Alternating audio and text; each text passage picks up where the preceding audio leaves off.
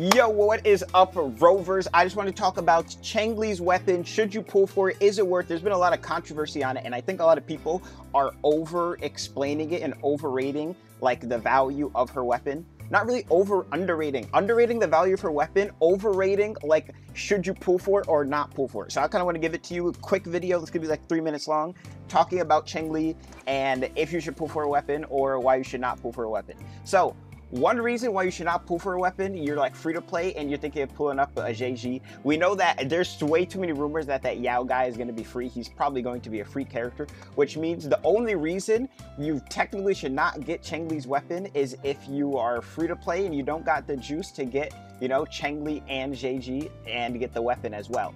Or maybe you got the juice, you know, you're to try to be lucky, you know, it's a gacha game, you know, gamblers, you know.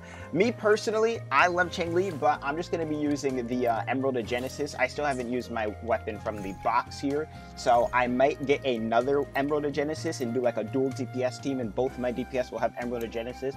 We will see. But if you don't know what Changli's weapon does, because it has changed like multiple times throughout the beta, a lot of people were talking about it since Changli needs needs energy recharge to use her ultimate. Everyone's saying, oh, you lose all this DPS because her weapon doesn't give you any energy recharge. But then they lowered the cost of uh, Changli ult. Uh, I have that on one of these tabs somewhere. I don't know. Um, to, let's scroll up here. Let's scroll up here. Yeah, so if you don't know, they changed the cost of Changli ult to 125. It used to be at like 150 or something like that. So now you don't need nearly as much energy charge. Also, by the way, if you're trying to uh, prep for your Changli, you can go to this uh, Hakushin website. Do be, you know, do be wary though. It is a, a dreamer website. All the information on here is not official. So, um, yeah, you know, but I've been using it just for its ascension calculator because it does have a good one. You can literally like change this, you know. I'm going I'm going for a level 22 Changli for some reason, I don't know.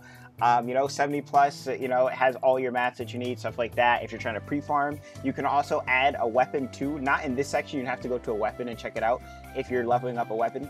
But yeah, pretty much pulling for Changli weapon is how much do you like Changli? Are you going for JG? Do you have enough for JG and Changli and weapon? No? Okay. If you have Emerald Genesis, how efficient are you trying to be? You know, I'm trying to get, you know, bang, bang, boom.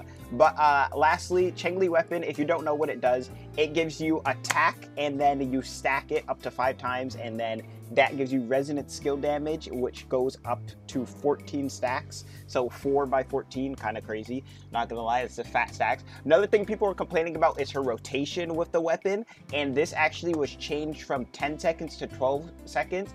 And they made it so that you can see in game how many stacks you have in your weapon, which is gonna be really good for rotations and stuff like that. So yeah, hope this helps you out.